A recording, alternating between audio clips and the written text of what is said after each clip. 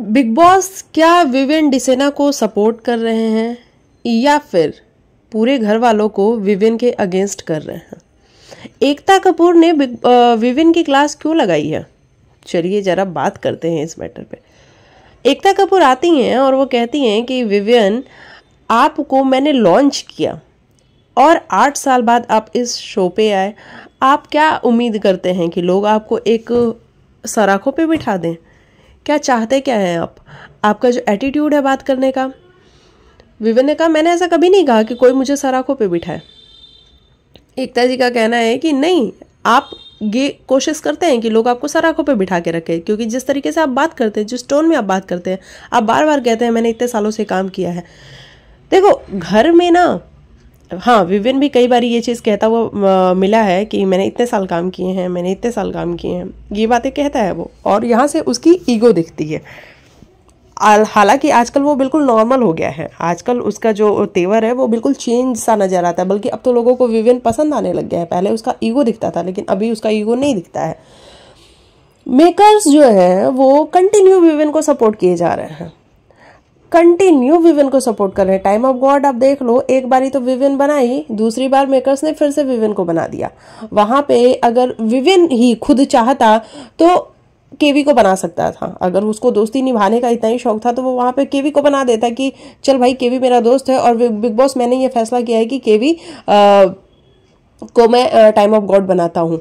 लेकिन विविन को भी वहाँ पे थोड़ा सा बचना था और इसलिए विवेन ने नहीं बनाया वो बिग बॉस पे डाल दिया। और बिग बॉस भी अगर चाहते ना तो बिग बॉस भी बना सकते थे।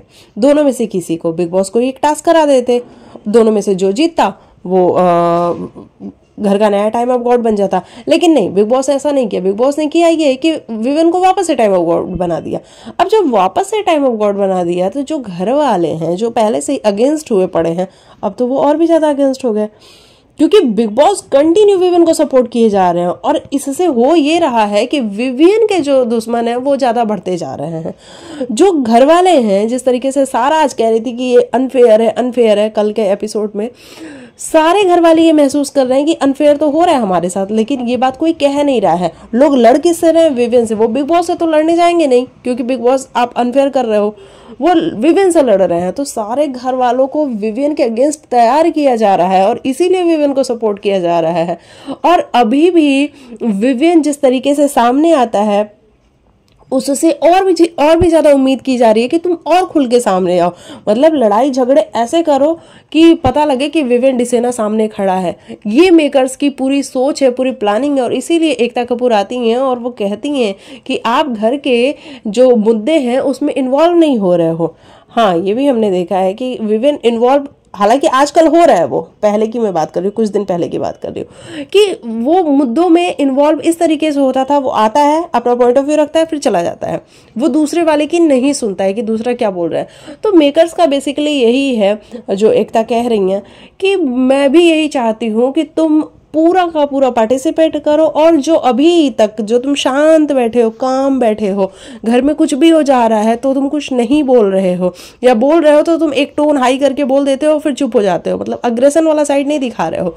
तो अग्रेसन वाला साइड दिखाओ। मेकर्स बेसिकली चाहते ये है और इसीलिए ये जो क्लास है विवेन की वो लगाई गई है।